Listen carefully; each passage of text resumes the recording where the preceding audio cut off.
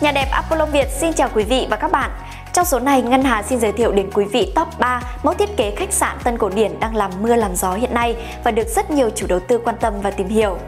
Trước tiên, quý vị hãy dành vài giây nhấn nút like, đăng ký kênh và chuông thông báo để không bỏ lỡ bất cứ video nhà đẹp nào mà chúng tôi chia sẻ nhé.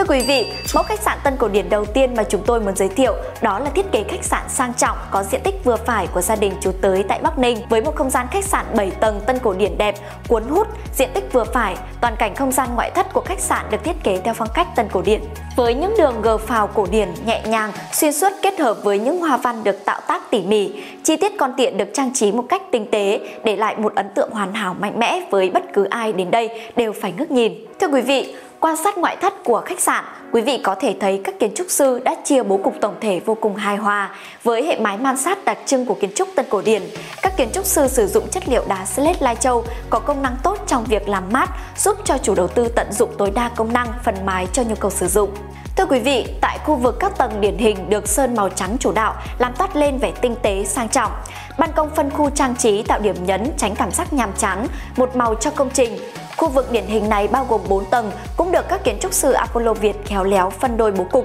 bằng các đường gờ trắng vừa đủ phân rõ các tầng mà không quá tách biệt chúng với nhau. Thưa quý vị, không gian tầng 1 và tầng 2 được sử dụng làm gara để xe và tiếp khách. Ngoại thất tầng 2 được sử dụng khoảng kính ô vòm lớn mang đến một không gian mở cho các vị khách. Sảnh lớn với 15 bậc tam cấp thuận tiện cho việc di chuyển đi lại lên sảnh. Với sức hút ngoại thất sang trọng và ấn tượng như vậy, công năng bên trong của mốc khách sạn Tân Cổ Điển này được bố trí rất khoa học và tối ưu công năng gồm có Tầng 1 bao gồm gara để xe, nhân viên và khách, tầng 2 có sảnh đón khách cùng với khu vực cho nhân viên, tầng 3, tầng 4, tầng 5, tầng 6, mỗi tầng gồm 4 phòng nghỉ, tầng tung có sân phơi cùng với kho chứa đồ. Thưa quý vị, nhắc đến top 3 mẫu khách sạn Tân Cổ Điển đẹp nhất, không thể bỏ qua thiết kế khách sạn 3 sao tại Quảng Ninh của gia đình ông Tiến. Công trình khách sạn Tân Cổ Điển tại Quảng Ninh nổi bật với tôn màu chủ đạo là màu trắng ở những tầng trên kết hợp với màu nâu sang trọng và màu đen quyền lực. Tổng thể của công trình mang lại sự hài hòa từ màu sắc đến trang trí hoa văn đã thể hiện sự cao cấp của khách sạn. Tầng 1 của mẫu khách sạn được các kiến trúc sư ốp loại đá granite cao cấp với màu nâu khỏe khoắn. Đây chính là một giải pháp nâng tầm trong thiết kế các công trình kinh doanh dịch vụ hiện nay ốp đá nâu kết hợp với những mảng kính rất lớn tạo điểm nhấn sang trọng, bề thế giúp cho công trình khách sạn trông nổi bật hơn so với các không gian sống xung quanh. Tất cả các chi tiết đều được phối màu một cách tinh tế,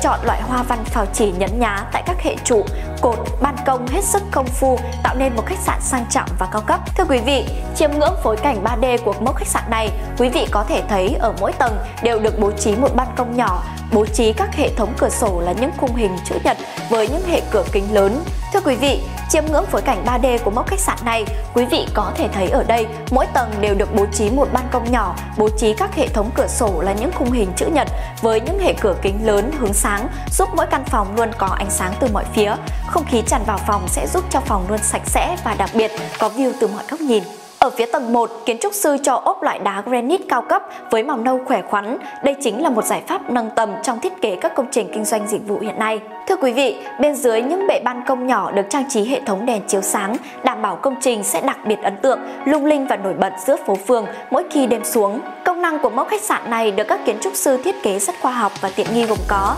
Tầng 1 bao gồm đại sảnh, phòng khách, lễ tân, thang máy, khu phục vụ ăn uống, buffet,